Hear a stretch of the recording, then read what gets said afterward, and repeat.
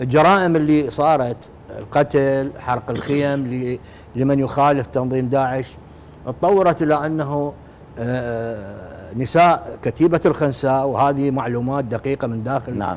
المخيم حصلت عليها يقومن باغتصاب الفتية بشكل حتى يزيدون آه، أشبال الخلافة لأن التنظيم منطيهم استراتيجية أن الاحتياطي المضمون لعصابات داعش هو موجود في هذا المخيم من حيث الفكر من حيث الموارد البشرية من حيث القدرة على آه، يعني حتى التدريب على الأسلحة على آه، طرح الفكر الداعشي اي دكتور هنا السائل لذلك قام بعزلهم المرأة نعم. اللي متزوجة داعشي واللي خلفت من الداعشي واليوم تشوفن يختصبن الفتية حتى يتكاثرون نعم. بهذا الفكر اللي تحمله واللي تغذيه لاولادها شلون نأمن على مجتمع إنه نجيب هؤلاء نخليهم بمجتمع نعم. نخليهم من ممكن سؤال جيد جدا سؤال جيد جدا ما تقوم به وزارة الهجرة ومستشارية الأمن القومي وجهاز الأمن الوطني هو بتدقيق حالات هؤلاء لأنه مو كلهم هم متورطين وقابلين على الفكر الداعشي. هناك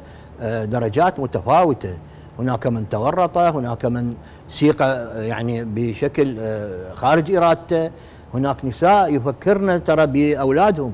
يريدون لهم مستقبل. نعم. يريدون يدرسوهم يريدون يعلموهم يريدون لهم حياة كريمة. حتى هم ترى يعني هم بشر مو يعني ناس همجوا فلذلك هذه المسألة تدقق. من قبل الأجهزة الحكومية في المخيم ومن ثم يتم اختيار من آه، يتم آه، ترحيله إلى آه، مركز التأهيل المجتمعي في مخيم الجدعة يقضي فترة من ثلاثة إلى أربعة أشهر ومن ثم ينقل إلى مجتمعاتهم.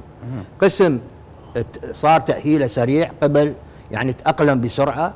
قسم لا يتأخر حسب هو قناعاته وهذا يحتاج إلى جهود وبرامج نفسية وتعليمية واقتصادية وتوفير فرص عمل لهم في المجتمعات.